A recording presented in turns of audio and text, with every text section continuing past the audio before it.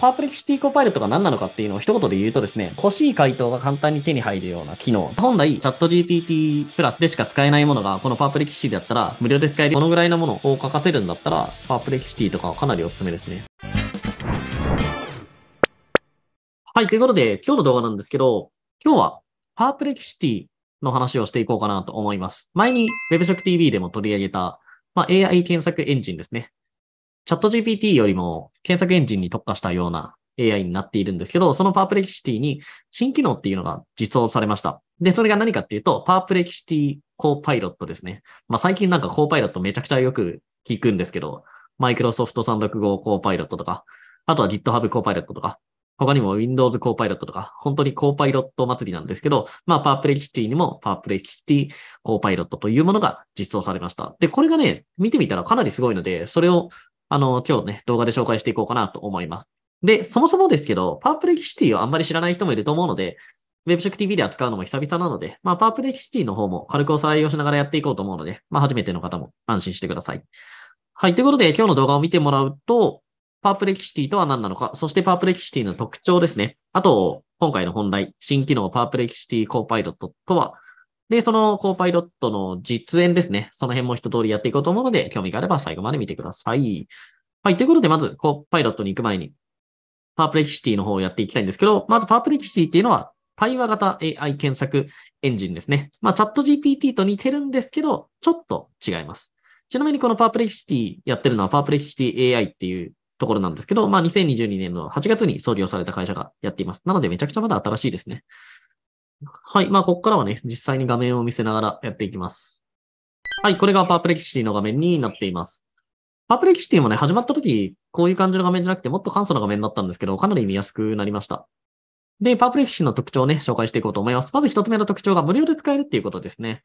まあ、今これ僕はログインしている状態なんですけど、別に有料とかじゃなくて無料で使うことができます。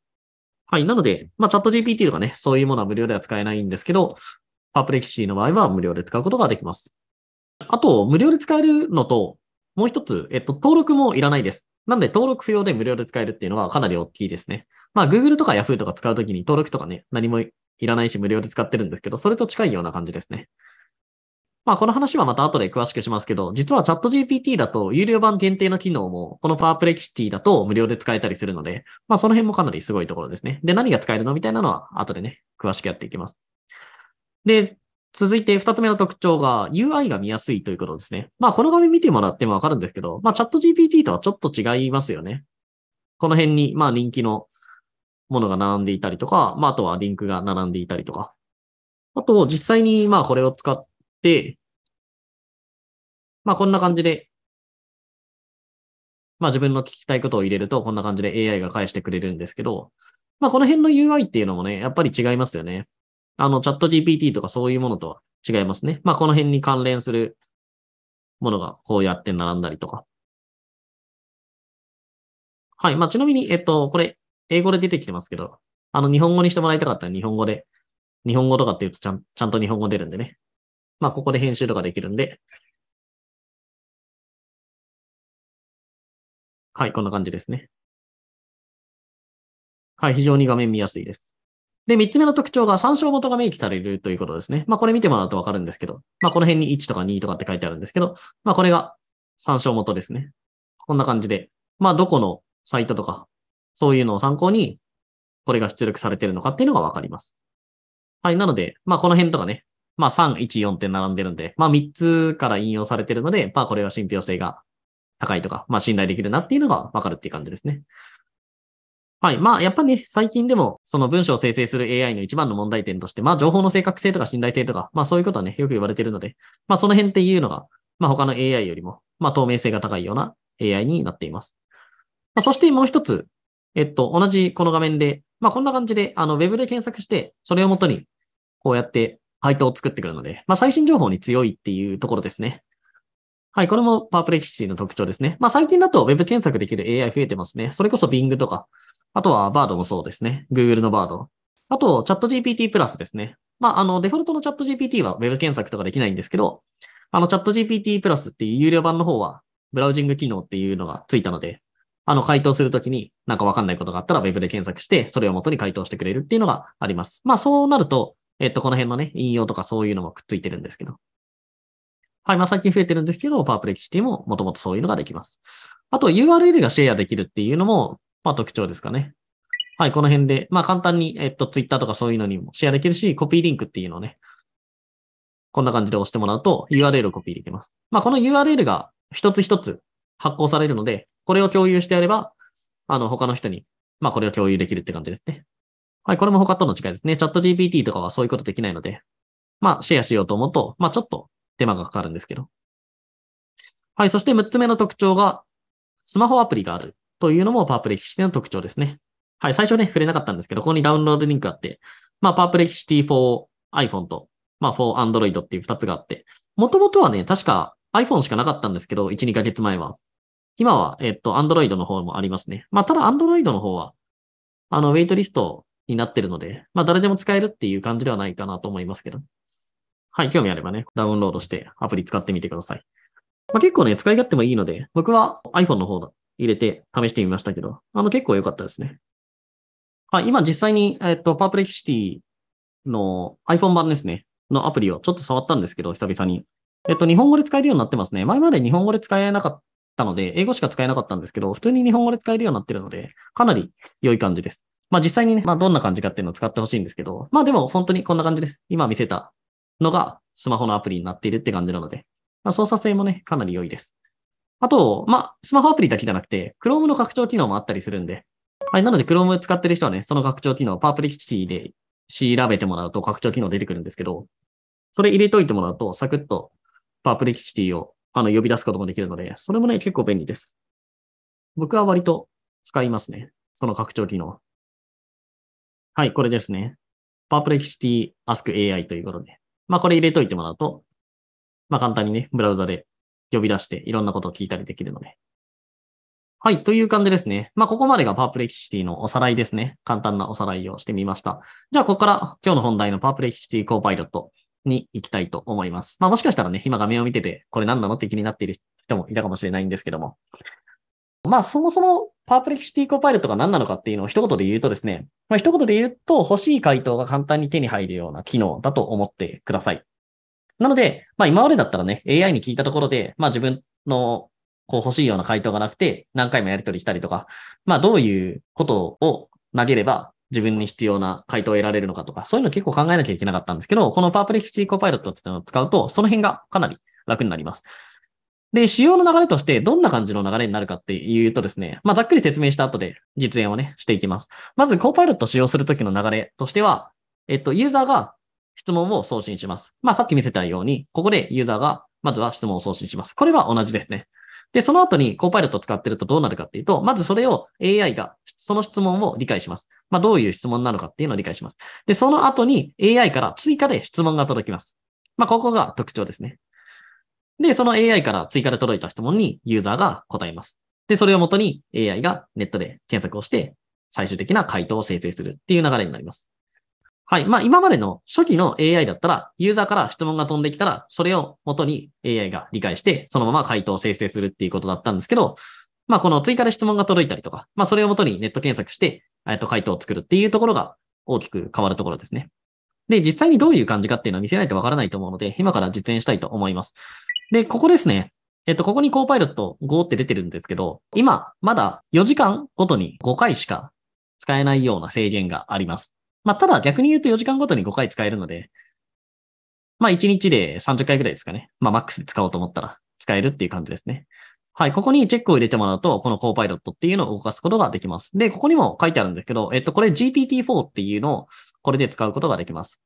なので、えっと、さっきね、まあ、本来、えっと、チャット GPT プラスでしか使えないものが、このパープレキシーだったら無料で使えるよって言ったのこれですね。えっと、GPT-4 が使えるんです。なんと。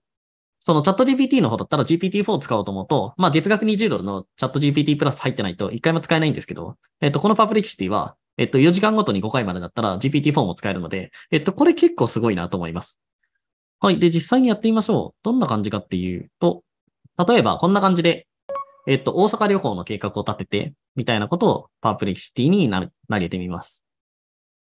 はい。まあ、コーパイロットね、動かした状態でなります。はい。そうすると、まあ今、えっと、質問を理解しています。AI 側が。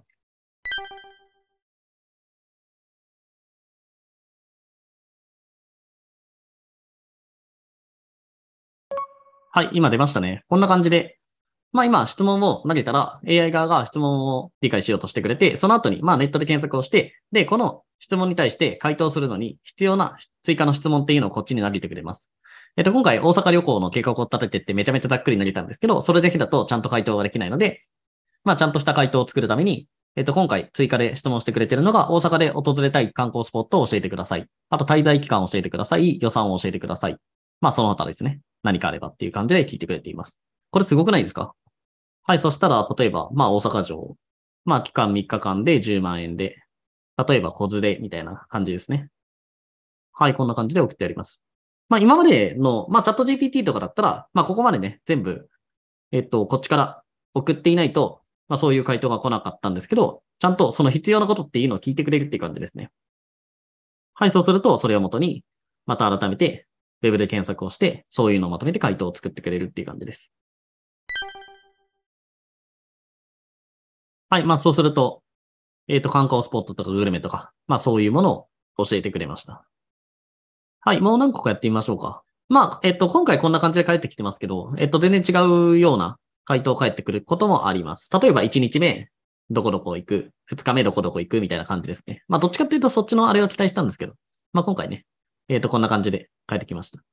まあ、ちなみに、えっ、と、こんな感じで追加でやり取りとかもできるので、はい。なので、まあ、その1日目、2日目、3日目みたいな感じで出して欲しかったら、改めてそういうのをお願いすればそういうこともできます。まあ今回はね、別のやつをやりたいので、あの、追加ではやらないんですけど。じゃあ次に、えっ、ー、と、例えばこんな感じで、ヘッドホンを購入したいと。いうのをパープレキシティに投げてみましょう。まあ流れ的には同じ感じですね。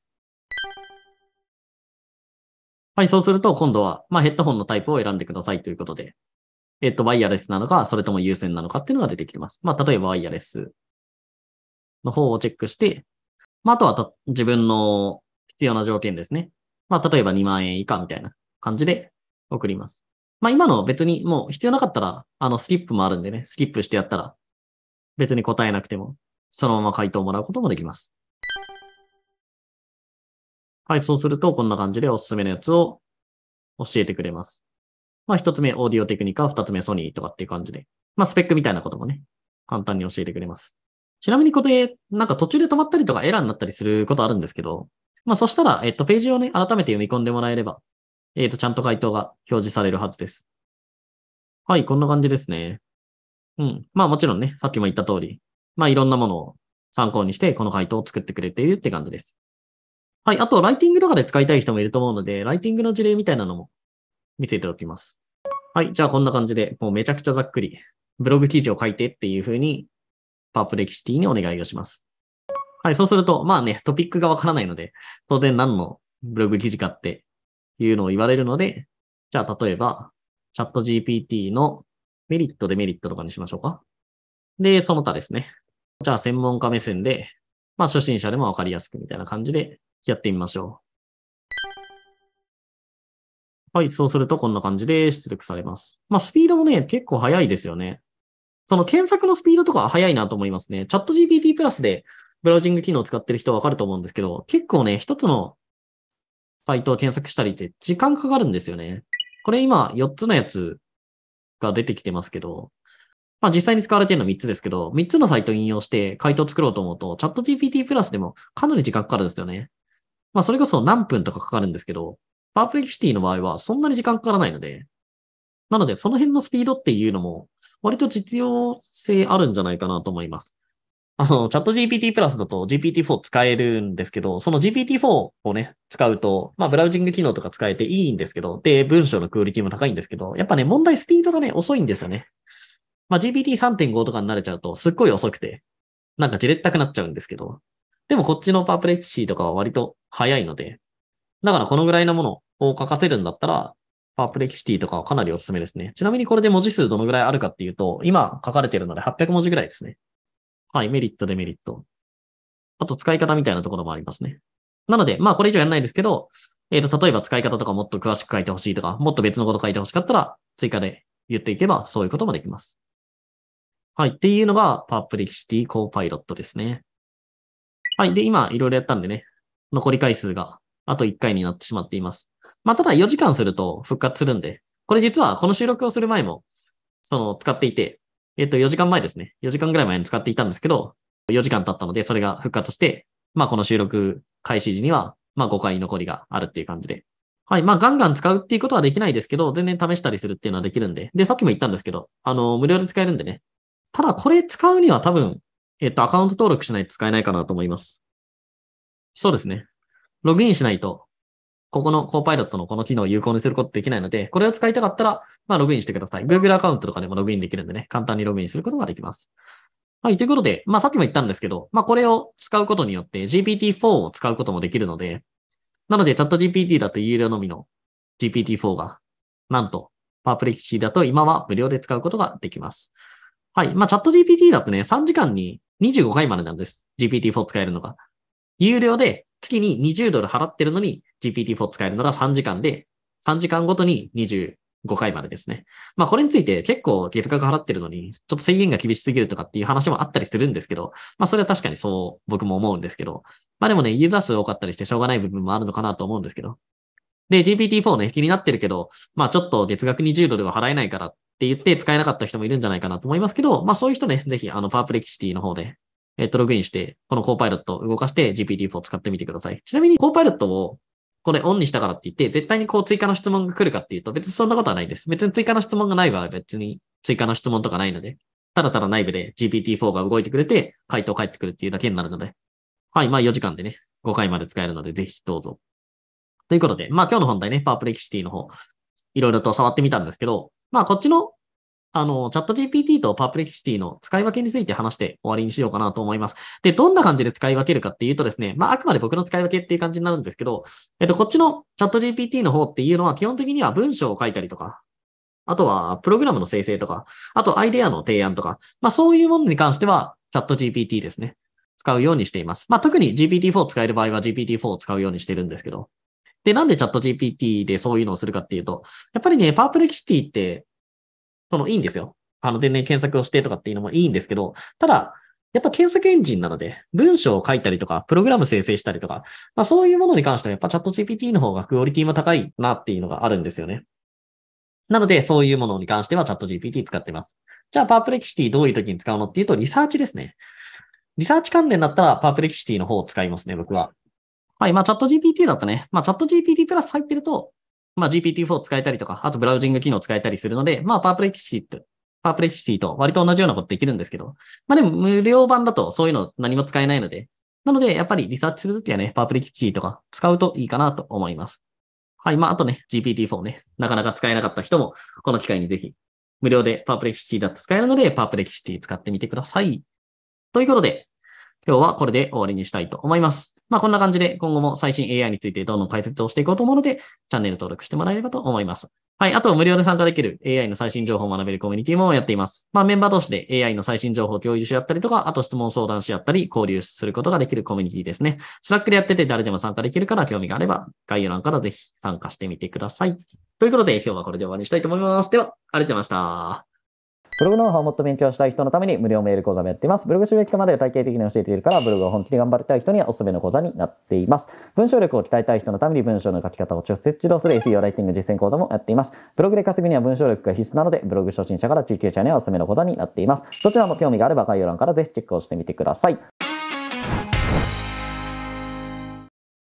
パープレシティコーパイロットの話でした。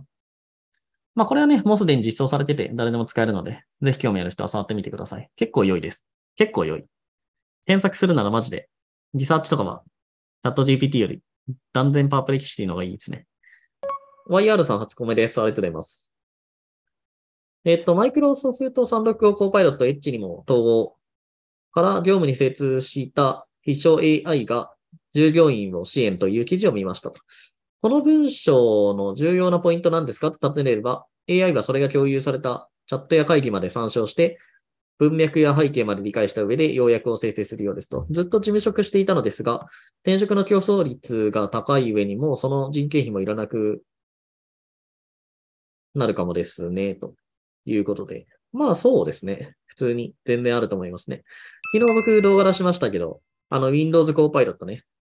えっと、今までは、その、Word とか Excel とか、まああとは何かその Web サービス単位で、まあ Notion とかもそうですけど、そのアプリケーションとかサービス単位で AI が搭載されていたんですけど、今度ね、Windows 11からは Windows 自体、OS に AI が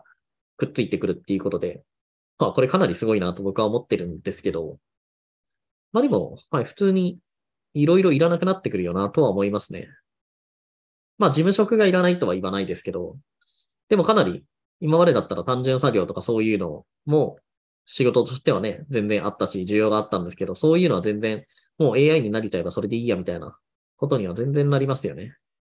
しかもこれからどんどん加速すると思うので、その AI の精度とかクオリティが上がっていけば。てか、絶対上がっていくんですけど。うん。まあでも、割とポジティブに捉えてもいいんじゃないかなとは思いますけどね。なんかなかなか難しいとは思うけど、まあでもそうやってね、AI でもできる作業は AI にやってもらった方がいいわけで。じゃあ AI じゃできないようなものっていうところに時間とお金を使えるって考えれば、それはそれでいいなと思うので、うん、まあだから、そのマニュアルで仕事をしていた人にとっては恐怖かもしれないけど、なんか僕は別にいいなと思っちゃうんですけどね、それはそれで。その、自分が依頼してる側だからそう思うとかではなくて、自分が仕事をする側だとしてもそうですね。まあライターとかもそうなんですけど、結局ライティングでもね、完全に AI に任せるっていうのは今はできないですけど、でもある程度のところまで AI に任せるっていうのは今でももうすでにできるわけで、ってなると、今までそこについても自分の時間とかを費やしていたけど、その時間費やさなくていいっていうことは、その、えっと、浮いてきた時間で何か別のことをやるとか、まあ別の作業をやるとかね。その、その文章のクオリティを上げるとか、そういうところに時間使えるようになるんで、別に全然いいことだよなと思いますけどね。はい。だから、例えば3時間ぐらいわかんないけど、例えばリサーチして構成作って、下書きを作って、まあここで3時間から5時間かかっていたのが AI 使ったら30分でできるよって言ったら、めちゃくちゃ何時間も浮くわけじゃないですか。そしたら別のことができるんで、なんかその方がいいんじゃないかなと思いますけどね。なんか他の人ができることをやることほど、なんか虚しいことってないような気がするんで、まあこれあくまで僕の考えなんで、それが全員とは言わないですけど。だから、それこそ YouTube とかで、ね、僕と同じようなことを他の人でも全然できるよって言ったら、別にそれでいいなとは思うんですけどね。なんかわざわざそこに時間を使おうと思わない。まあそれこそ、まあ最近の AI のやつとかは割とやってる人もいますけど、ブログ系の YouTube とかは、まあ本当なかったんで、まあ今でもないんですけど、で、これからも多分やる人そんな現れないと思うんで、だからなんか、半ば義務感じゃないですけど、そういうのもあってずっとやってたんですけどね。なんか自分がその話しなくなったら一体誰がするんだろうみたいな。まあちょっとやる人はいるんですけど、でもちょっとやって終わりとか。YouTube 始めますって言って一生始めない人とか。今度こそやります。やらない。今度こそやります。やらない。一本出して終わりみたいな。そんな人ばっかなんで。うん。だから、まあ価値があると思ってやってますけどね。なんか本当に自分と同じことができるんだったら別にわざわざやらない。まあ AI もね、なかなかまだ発信してる人も少ないし、発信できる人も結構少ないんで、カバーできることもね、違ったりするし。まあニュースも多すぎて、僕も全然追いついてないんで。まあだからしばらくはね、やろうかなと思ってますけど。会社のメンバーと共有しているタスク管理ツールはありますか？まあ、チャットワークでタスク管理してるのもあるし、あとは YouTube 関連は朝ナとかでやってますね。最近は。朝ナ使ってタスク管理してます。まあ、あとスプレッドシートとかも使ってますね。ものによるかもです。まあでもその辺でやってます、うちは。外注の方とやり取りしてるんですが、何回言っても資料で説明、動画にして説明とか、難しいところありますと。まあ大変ですよね。自分が書くより倍大変なんだと。自分の作業時間減らしてくれるといいですね。そうですね。自分書くより全然大変ですね。やっぱ、伝えることも多いし、やっぱ思った通りにならない。っていうのはありますね。まあ最初のうちはですけど、やっぱほとんど書き直しになっちゃったりもするんで。まあでも、何よりもやめられちゃうのが一番しんどいですけどね。せっかく教えたのに。なんかそこまでの時間が無駄になっちゃうので、やめられてしまうと。まるっと損するんで。だからなんかそういうパターンの人は僕はもう雇わないですね。ライティングの勉強したいから、ライティングさせてくださいみたいなこと言われたりするんですけど。なんかそのスタンスで来る人はもう全員最初に断っちゃいます。てか採用にならない、まず。まあでも、普通に考えてそうなんですけど、なんでライティングを教えるのにこっちがお金払うんだろうっていう話じゃないですか。教えてもらうんだったら普通お金をもらって教えるのが普通だけど、ライターの人って結構その辺バグってて、まあそういう訴求をする人が多いからなんですけど、ウェブライターっていうのはお金をもらいながらライティングも教えてもらうことができるみたいな訴求をみんなするからね、勘違いしてる人が多いんですけど、えっと、教わるためにライターやるわけじゃないので、ライターをやるっていうのはちゃんと、その満足いくようなものが、えっと、納品できるからライターできるわけで、そうじゃないとライターできないので、だから教わりたいからライターやらせてくださいみたいな人はもう、その時点で断っちゃいますね。しかもその人っていうのは教わりたいからやってるわけで、それは当然ある程度ライティングできるようになったら、あ、じゃあできるようになったからやめますとかって言われるわけじゃないですか。それも嫌なんで。だからうちでライターやってくれる人は、まあなんか事情があってやめなきゃいけないとはしょうがないんですけど、例えば半年ぐらいして、もう何か、その、続けられない理由ができて、どうしてもやめなきゃしょうがないっていう時はもうそれは、あの、全然いいんですけど、そうじゃない限りは普通に1年以上は絶対働いてもらうっていう条件でやってもらいますね。教えて3ヶ月でじゃあとかって言われたら、マジで、マジでマイナスなんで。普通にえっ、ー、と、両学長が合宿として人を集めて会議や打ち合わせなどされているそうですが、中西さんそこに呼ばれましたか？いや、呼ばれてないです。僕はだって運営に関わってるわけじゃないので。だから、あれですよね。なんかクリエイター、クリエイター合宿でしたっけ？あ、あそこに呼ばれてる人は、その運営側というか、YouTube 作ってる人とか、リベイの何かをやってる人ばっかりなんで。いやー、なんだ。病院とか、飲食店とか、なんで僕はそういうふうに関わってないので、呼ばれてないんです。いや、わかんない。嫌われてるからっていうのもあれかもしれない。で、前からあれですよ。なんかそういうのを手伝ってほしいみたいな話はね、してもらってますけどね。ずっと断ってるけど。何年ぐらい ?2 年ぐらいは何やかんや断ってる気がする。なんか割と会うたびに人が足りないからっていうので、手伝ってくれたらいいな、みたいな話があったりしますけど。いやー、そうですね、みたいな。そうですね、みたいな感じで逃げてる気がします。まあ、手伝いたくないわけでもないんですけどね。なんか、できることがあればやりたいなとも思うけど。まあでもなかなか、YouTube やって、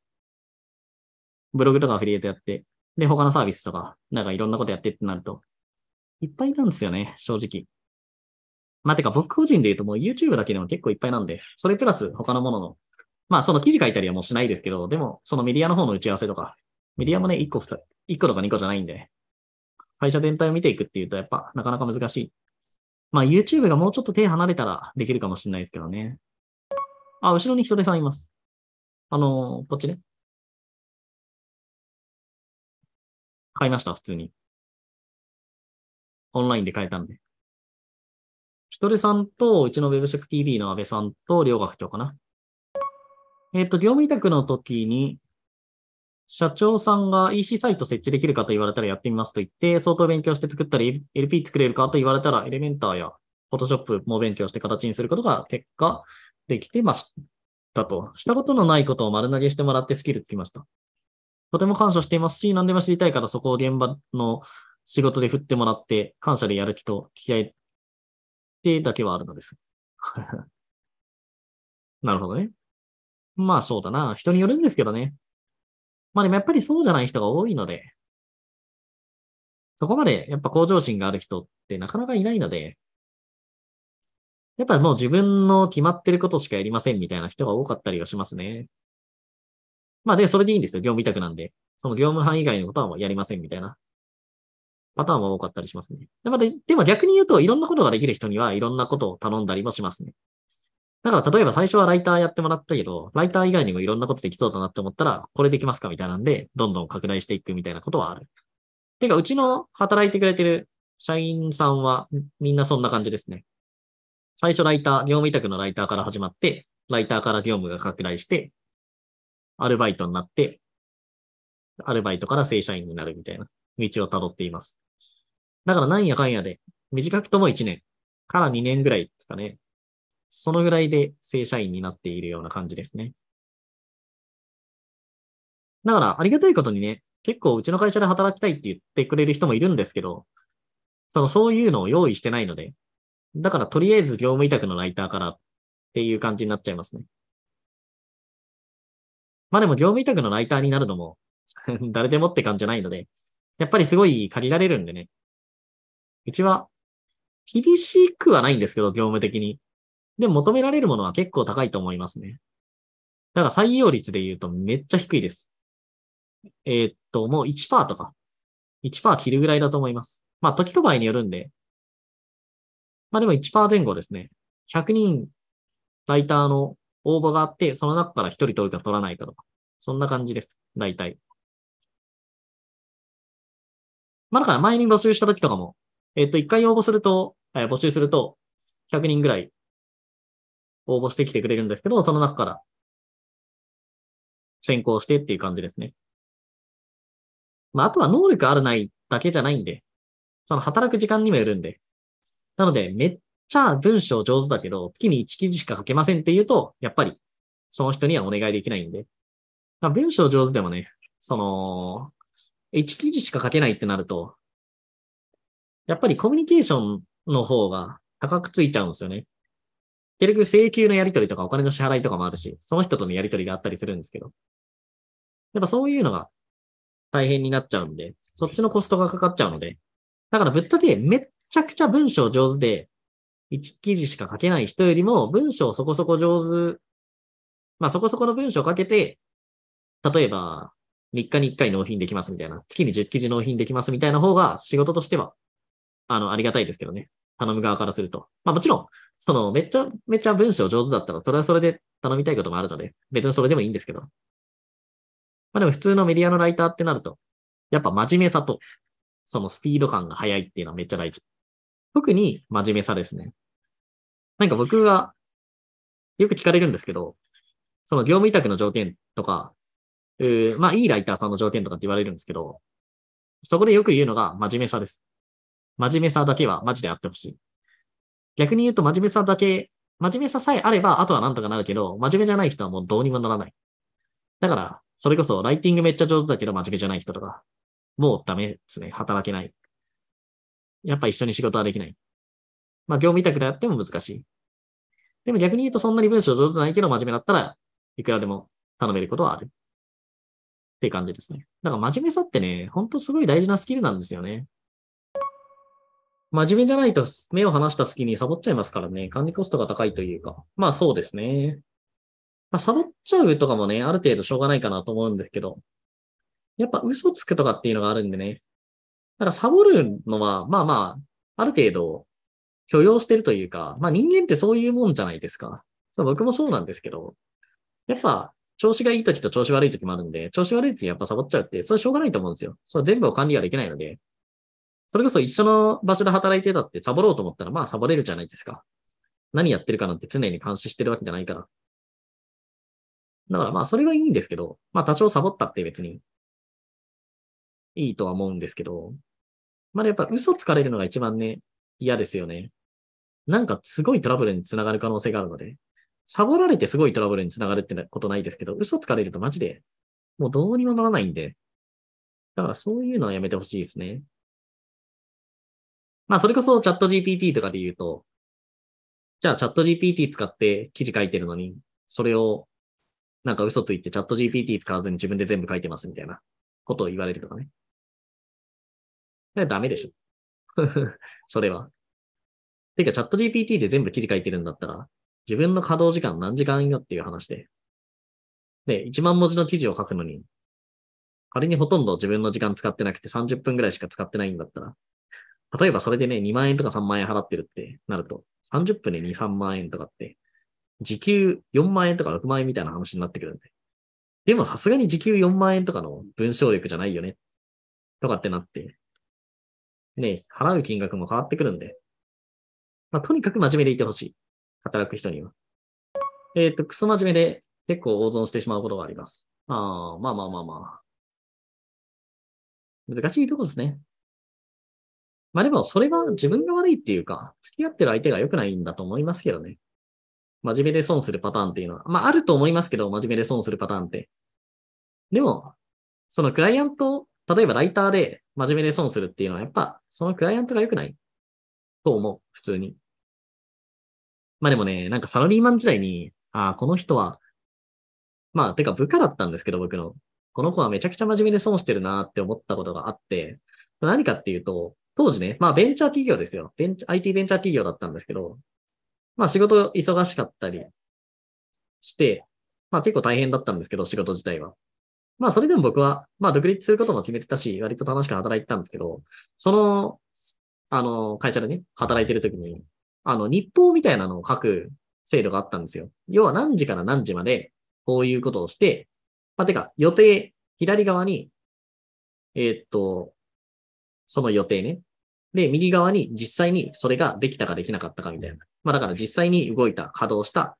時間とか内容みたいなのを書くみたいなんで。なんかそういうのを毎日出すみたいなルールがあったんですけど。まあてから僕はやってないんですけど、正確に言うと。僕は割と立場がもうその時上の方になってたんで、僕はそれをチェックするみたいな役割だったんで、そういうのやってなかったんですけど。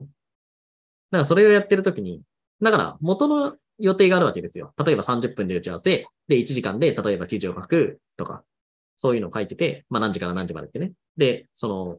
実際にできたかできなかったかみたいな書くんですけど、まあこれの乖離があると言われたりするわけですよ。なんで、例えば1時間でできると思ってたものがこんな2時間もかかってんのみたいな話になったりするんですけど、なんか、ちょっとぐらい、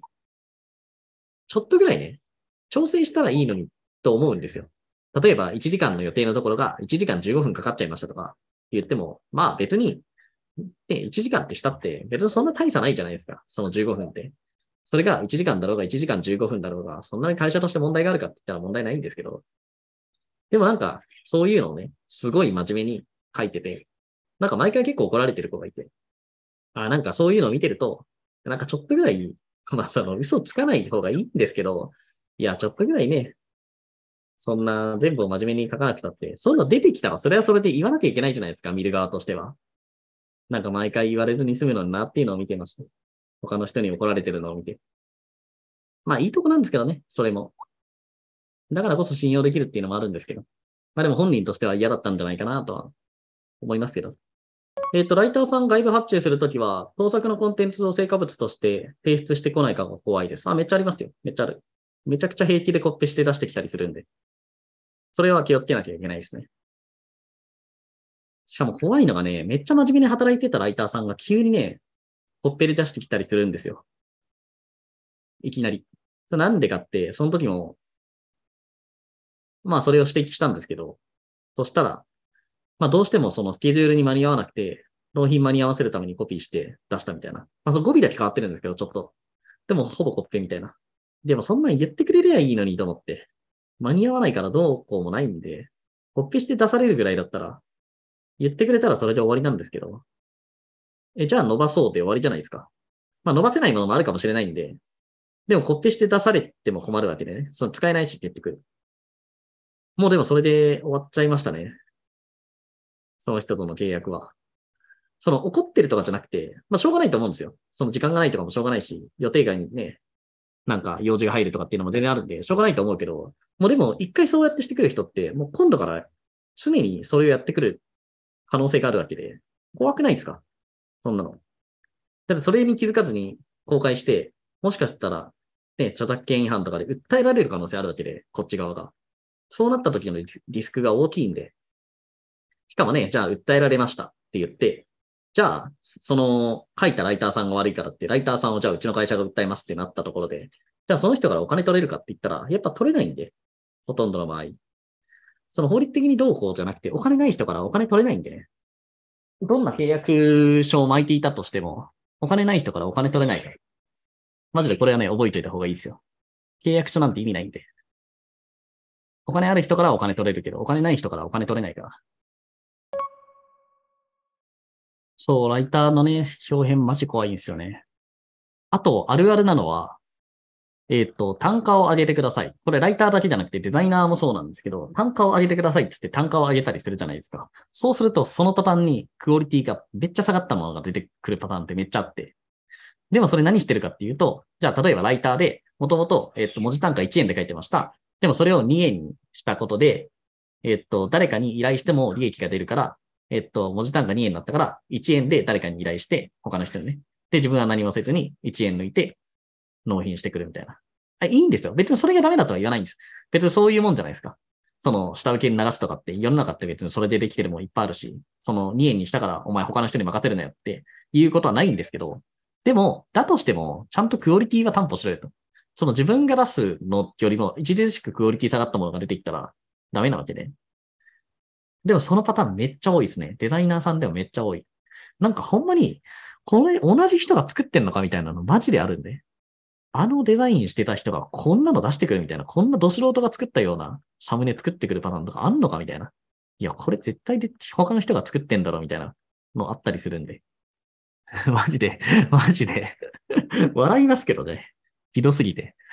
そういうのも。もう逆におもろくなってくるやつですね。逆に笑える。そういうのはやめてほしい。ちゃんとしてほしい。仕事として。ライターさん外部発注しようとしてるんで、勉強になります。でも外注さんはね、うまく使えれば、もちろん強いので、てかめちゃくちゃ強いので、まあ、どっかからは外注さん使えるようにならなきゃいけないですけどね。結構大変ですね。ああ、銀の盾、リアルタイムで見たい。金の盾開封、ライブで放送しながら行う予定でしょうか？ああ、それでもいいですね。いや、そこまで考えてなかったんですけど、それでもいい。僕が間違えて開けなかったら。開けちゃったらごめんなさいなんですけど、やってもいいですね。なんか、僕やった気がしますね。ライブ配信で。書籍か。書籍の見本が送られてきたときは、ライブ配信で開けた気がします。出版社から20冊ぐらいかな。著者には送られてくるんですけど、ただで。それは、ライブ配信で開けた気がしますね。僕もそれで初めて見ました。日本の本。書籍をね。この、これ。これを売ったときに。なんでやってもいいですね。ちょっと覚えてたらやります。忘れちゃってたらごめんなさい。また、あれ、言ってください。近くなったら。えー、っと、中地さん、視聴者にもかなり優しいと思うので、息子あるいは、娘や奥さんにはめちゃくちゃ優しそう。おねだりされたら割と8割方買ってあげたいそう。そして、ま、孫にはさらに激甘になりそう。あー、なるほどね。まあ、孫はわかんないですけど、息子、まあ子供とか奥さんにめちゃくちゃ優しそうっていうのはね、いや、どうなんだろう自己評価わかんないけど、めちゃくちゃ優しいと思いますね、僕は。めっちゃ優しいと思う。多分。まあなんだろうね。自分がその意図してなくて怒らせちゃうとかはあると思うけど、そういうの以外は基本的にないですね。まあそんな嫌なことも言わないし、割と平和な方だと思います。で、おねだりされたら割と8割方買ってやりたいそうっていうのは間違ってますね。これおねだりされたら基本的には全部買います。断ったことないと思います。まあ、そんなに何かを買ってほしいって言われること自体がないからっていうのはあるかもしれないですけど、何か買ってほしいって言われて断ることはないですね。なんで10割ですね。別に断らない。なんか欲しいものがあれば別に全然いいんじゃない？そんな高いもの欲しいってならないし。せいぜい1万円とか2万円とかじゃないですか。それをしかも毎日欲しいって言われるわけでもないし。たまに言われる1万円2万円とか別に全然いい。まあ、しかも僕こんなん買ってますしね。ラボットとか買ってるし、何十万円で。そんなやつが1万円とか2万円とか断り出したら意味わからなくなるので。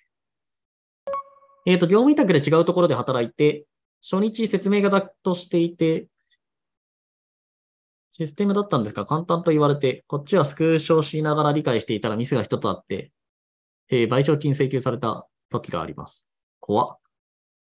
怖くて弁護士事務所に相談したら弁護士の方が無視してくださいと言われました。精神的に怖かったです。あ怖いですね、そのパターンは。ええー、まあまあまあまあ。それは、どうなんだろうか。それで賠償金請求はまあさすがに無理ですね。多分。まあチェックもしなきゃいけないんでね。それでいいかどうかっていうのは。へえ、まあでも極端ですね。まあでもクライアントによるからな、そんなの。いきなり切れてくるクライアントもいるんでね。まあその辺は気をつけてくださいとしか言えない